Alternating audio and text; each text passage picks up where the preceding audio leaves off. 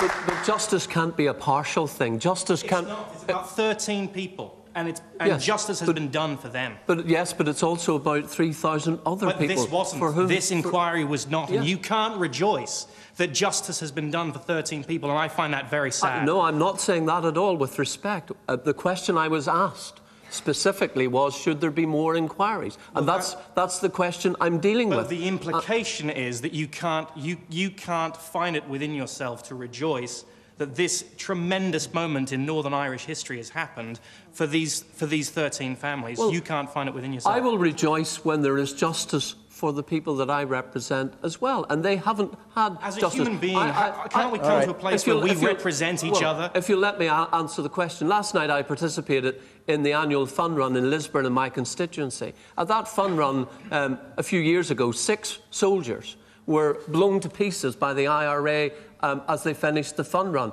Now, their families haven't had justice. I will rejoice when I see those families getting justice as well. Forgive me, but I've lived through this. I grew up in it. I know what it's like. I lost members of my family murdered by the IRA. No one brought to justice for their killings. So if I don't overly rejoice because there's been 13 um, people found innocent, and, and I accept that um, in uh, the circumstances that Saville has concluded, uh, he's brought forward this report. But um, I want to see justice for everyone right. who lost a loved one in Northern Ireland. That's what real justice is about. Justice should not be partial. And, and I agree with this lady here. There is, to a certain extent, um, an attempt here to scapegoat the army, to paint the army as the bad guys and the IRA as the freedom fighters and the in good cold guys. Blood. That Yeah. was the conclusion. Yes, that All was right. the conclusion. But the, as the Prime Minister said, this is not the defining moment of what the Army did in Northern Ireland. There are thousands of my fellow citizens in Northern Ireland alive today because brave men and women put themselves in the front line and stopped the terrorists from killing